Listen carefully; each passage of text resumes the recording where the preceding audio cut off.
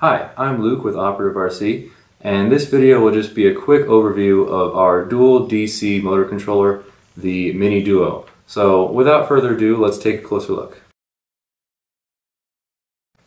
So this motor controller is great for ant-weight sized competition robotics or something similar to that size that's using uh, tank steering where you have one motor on either side.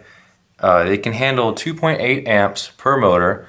The input voltage is anywhere from 7 to 20 volts, but it also has an oversized 5 volt regulator on board that can provide up to 1 amp to your receiver and a couple servos or anything else that you need to power with 5 volts. These wires over here go to the left and right motors.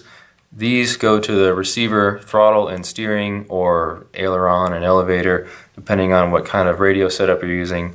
And of course, you have your power leads. So another great thing about this motor controller is it's got some extra tabs here, so you can sort of tap out the battery power. So if you need your main battery power to go to multiple sources, and you don't want to make a little wiring harness and worry about soldering that together, you can just use the MiniDUO as a mini power distribution board.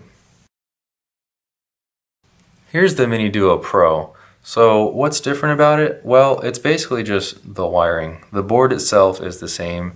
Still 2.8 amps per motor, 7 to 20 volts power supply.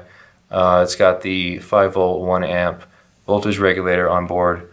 But it comes with these nice silicone wires for your motor leads, your power leads, and the servo wire is actually this nice silicone ribbon cable. So this is just nicer if you are routing these wires in a really tight space or maybe you're kind of annoyed with how regular like PVC insulated wire melts a little bit when you solder to it. This stuff won't melt at all. And also it just kind of has a nicer feel to it. So yeah.